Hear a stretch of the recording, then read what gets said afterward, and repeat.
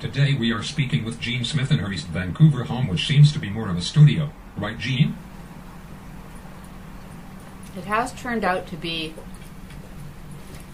primarily a workspace. So it's a small room, and everything that I want to accomplish here in painting, and music, and writing needs to happen in, in this room.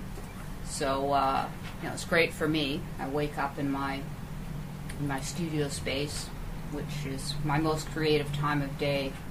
Uh, getting up early in the morning, but yeah, it's not it's not conducive really to uh, traditional entertaining or socializing. What are you currently working on as far as writing goes? Uh, with the writing, I have a couple of columns that uh, I'm generating regularly, and I'm editing, re editing uh, a novel that I completed a couple of years ago. What's the next step? Uh, the next step for that manuscript is getting it published or finding an agent. Are you looking for an agent in the US or Canada? I have done a round of querying in the traditional way that that, that is supposed to result in in, in rejection. I think is is the accepted purpose of querying is that you you get rejected, but uh, yeah, U.S. primarily I'm looking at. What is your most recent novel about? Uh, well, the one I'm referring to that I'm editing is not uh, the most recent one. The most recent one is the Black Dot Museum of Political Art. What else have you been working on? There's a new Mecca Normal album, right? yeah, there's a new Mecca Normal album. Uh, we recorded it in uh, Miami Beach uh, in November last year, and uh, typically when when we've recorded an album, pretty much we leave the studio and send it directly to the record label. In this case, uh, we came back and really have we have felt comfortable not doing much of anything with it. Uh, uh, so it's this is a different sort of way to to proceed. The not proceeding, which is part of an overall sort of uh, working on being patient with things and waiting for the right time. Are you painting? Painting. Uh, I have done a lot of painting. I would say a lot of painting uh, very early part of this year. So you know, I'm ready to paint. I may paint today, but I, I wouldn't say I'm in the throes of painting per se. As an interviewer, there's a lot to consider. You write, make music and paint, and you do an event. A classroom event that seems to deal with all these activities. Uh, yeah, so that that is in fact uh, almost a hindrance unless unless I consider it to be another way to to organize uh, the output, the creative output. Is that there there are a lot of areas now that that need attending to, uh, as well as uh, kind of facilitating. You know, there's a lot of projects, and they tend to be long, big projects. So it would be easier in a way to isolate one aspect of your creative output or to ask you about a specific time, like the 1990s or working with K Records. Uh, yeah, it would in, in many ways be uh, more efficient to uh, to consider, as you say, uh, you know what what was happening in the '90s, because that included a lot of our more uh, uh, kind of well-known. What we're known for is, I hope, we're known for sort of socially agitating within culture, or, or with a political sort of overview. Do you have goals at this point for what you want to do within the music industry, or in terms of being published, or an art exhibit you're working towards? Uh, there isn't an art exhibit that, that's coming up, and that's okay. Uh, with the writing, it's it's always a matter of uh, really enjoying the process, especially the, the longer pieces, the novels, of, of uh, honing them. But uh, the, the novels, I think, are the, the most demanding of, of a relationship with uh, a reader, for instance, in that case. Whereas these other things, uh, tend to be, you know, more in the moment, the enjoyment of making music. The, the purpose of making music is the actual making of the music, and the documenting of it is kind of a secondary process, and then disseminating it comes comes after that. And we've done a lot of a lot of these these things, so it's not always as uh, stimulating. I was looking at Facebook yesterday and I noticed a comment someone made. A guy was asking you if you ever hung out with people who were nice to you. Oh, oh yeah. Okay, so, uh, yeah, so. It seemed like you gave this very reasonable answer and then later you added something else. Is that typical of how you tend to react to your experiences? Uh, in that I, I take a, a certain amount of time to to uh, to con- continue considering things and finding more avenues that uh, uh, of, of interest, really. Yes. It just seemed like the longer it was being considered, the less patience you had for the guy, even though he hadn't continued his part of the dialogue. Okay, this is a bit convoluted unless unless you happen to follow my Facebook, but uh, yeah, it was a matter of somebody, I guess, noticing that I that I'm quite negative, even though I do over a larger range of time try to maintain a balance. Do you regard general writing and interactions on Facebook as part of researching a more formal piece of writing, like a novel? Uh, yeah, it's it's human research. It's not specific to anything I'm working on. There was another interaction I was curious about. It seemed less loaded, less abrasive. Someone suggested you start a blog on Tumblr. Your reaction was interesting. You said something about not wanting to be in blog writing mode. I think you inferred that you were happy writing on Facebook, which isn't usually regarded as the actual place one writes. Facebook is where you tell people where to read the writing you did elsewhere. Well, that's a matter of uh, continuing uh, to subvert, you know, what it is that you have at hand and what it is that you are supposed to be doing. So uh, that's something I've always done. It's just that the the infrastructure keeps shifting. You made a video about the hike you went on. In fact, it's called the hike.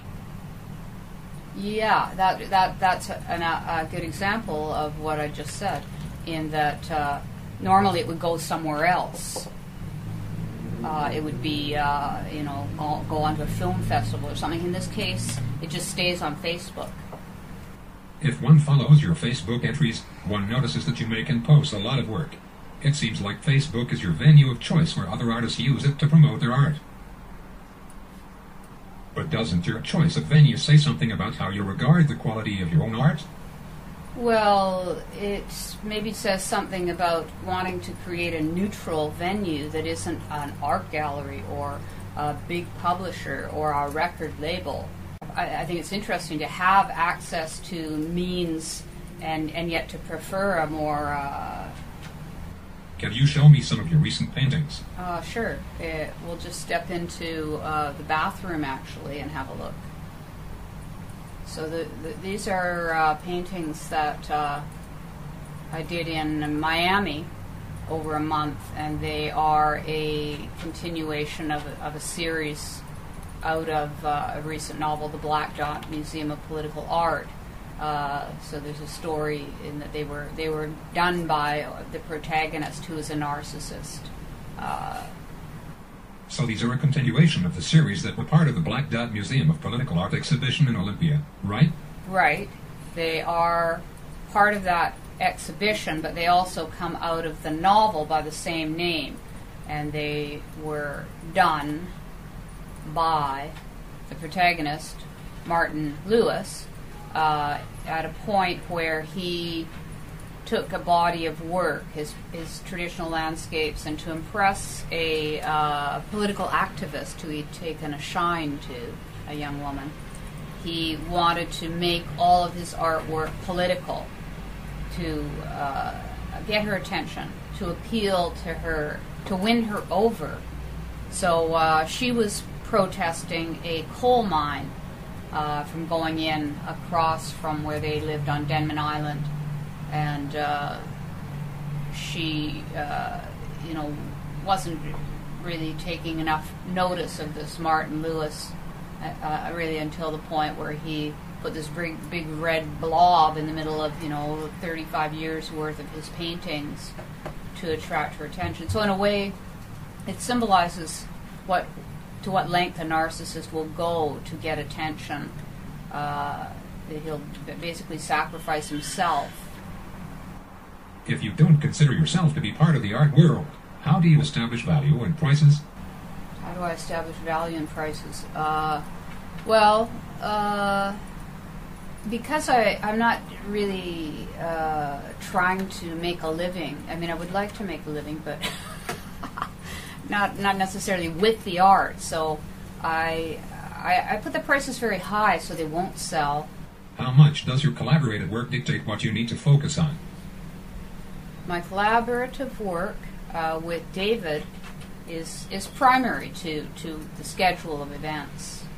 I'm sure there are many other ways we could have handled this interview, and I suppose that's the point. Yeah, yeah, we could have actually uh, tried to focus on uh, you know just music or just writing, but uh, all of these all of these things at this point are in fact overlapping and informing each other more than they ever have before. So. Uh, uh, so, what was it like to work with Kramer? It was fine, thank you. Uh, we did good work. He was present and uh, seemed satisfied uh, with what we did, and then he basically went and uh, and mixed the album in in the context that he is. He also played bass, didn't he? He he did. He played bass on uh, a lot of our. Uh, a lot of the songs, Dave was keen to have a, a, a low end presence that the guitar doesn't primarily address. So uh, yeah, he, he did that. And you don't know when the album is coming out. The album is coming out uh, whenever there seems to be a reason for it to come out. You know, I want to be available to tour and to uh, really make uh, a lot out of the experience, uh, and and that needs to be timed because we'll be taking time away from other projects to devote to that. So it's now more a matter of deciding where the focus lies and why. To me, it sounds like you were finding ways around having to work with people. Work with people, ways around working with people. Uh, yeah. working with people can be uh, uh, disappointing in that uh, you know I've had this great uh, partnership with Dave, and uh, you know at this point in life, I I have ways that I like to work, and work is what I do pretty much all the time, and uh, I, I, find that it's difficult to to coordinate personalities that that I want to uh, explore with, I suppose. So yeah, working working in uh, the solo context is uh, is okay. Let me ask one final question about how you maintain the infrastructure you require. By that I mean the day-to-day workings of being a creative individual who isn't making a living with art. The day-to-day workings of a creative individual who isn't making a living with art.